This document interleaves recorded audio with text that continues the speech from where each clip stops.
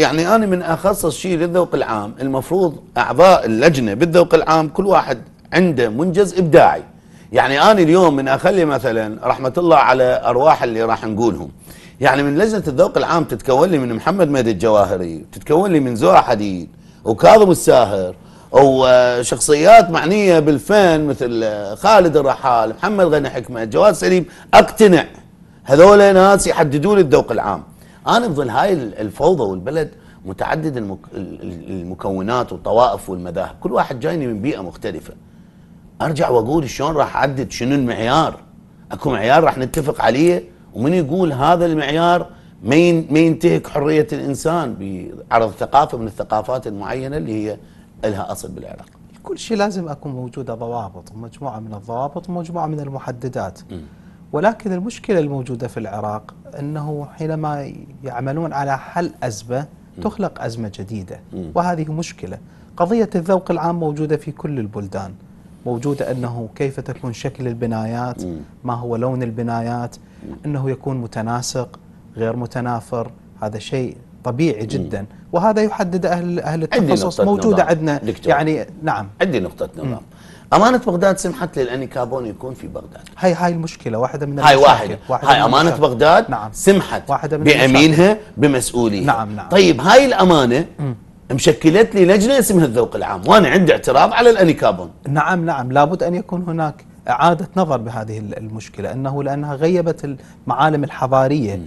أو والأمر الثاني أنها هدر للأموال لأن هذه آه عمرها قصير جدا. نعم. ولا يعني تأتي إلى كفاءة الحجر أو ال ال يعني الرخام أو غير هذه المواد. لابد أن يكون طول عمر مع ذوق حتى لا يكون هناك هدر بالأموال. م.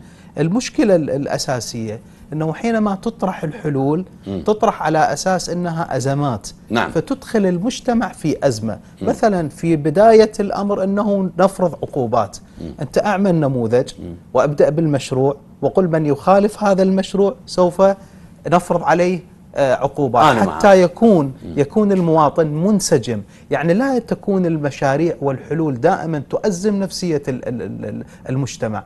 دائما يحس أنه كأنه دخل في أزمة جديدة. هو لا يريد يحل أزمة للمجتمع. ولكن هو المسؤول الآن يعيش بعقلية مأزومة. أنه يريد يثبت ذاته أنه هو قادر على الإدارة وأنه صلب قوي. أي نعم بغض النظر أنا فنان لا. نعم لا هو هدفه هدفه إنه الناس تشوفه من صار بالمنصب قوي. نعم أنا لا أعلم يعني من أين أتى المسؤول العراق؟ أنه إذا كان وجهه متجهم ولا يسمح لأحد أن يدخل عليه في الغرفة وله كثير من الحمايات أنه يكون قوي ويكون سي نعم هذه عقدة موجودة عند المسؤولين العراقيين وهذه عقدة نقص كما تحدث عنها آه، يعني إدلر أنه يريد أن يعوض هذا النقص من خلال هذه البهرجة وهذه الظواهر. يقول كثرة التباهي نقص. نقص هي نقص عقدة نقص موجودة نعم. لذلك الإمام الصادق عليه السلام يقول ما من مرء امرأ تجبر أو تكبر إلا في ذلة يجدها في نفسه. هو ذليل في, في داخل نفسه. لذلك خل يخرجوا من هذا الطور. أنه من خلال فرض العقوبات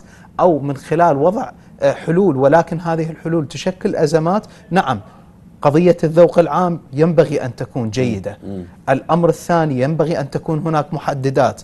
الأمر الثالث ينبغي أن يكون هناك متخصصين لوضع الذوق العام. الأمر الرابع لابد أن يكون هناك توضيح للناس ما هو هذا البرنامج والهدف الأساسي أنه يفهم الناس أنه هذا يأتي في خدمة المجتمع وخدمة الناس لا يأتي فقط على أساس أنه أول ما قايل غرامات تبدأ من 250 تنتهي بالحبس خمس سنوات وكأنما أكو وعيد مو أكو نية بأن آه، يكون المواطن البغدادي مواطن آه ذواق ينصاع وفق القانون وقرارات الدولة التي تهدف إلى بناء دولة وليس فرض سلطة. نعم المشكلة الأساسية بكثير من من القوانين وكثير من القرارات آه، لا يتم إقناع المواطن بها. يتم فرضها على المواطن. يعني حينما مثلا قضية المخدرات مثلا. أنه أنت لا تتعاطى المخدرات. إحنا ما نبين له العقوبات نبين له الأضرار. مستقبلك يضيع صحتك لا تدهور تدخل في تدخل المتعاطي ده يسجن. تدخل تدخل تدخل في مشاكل.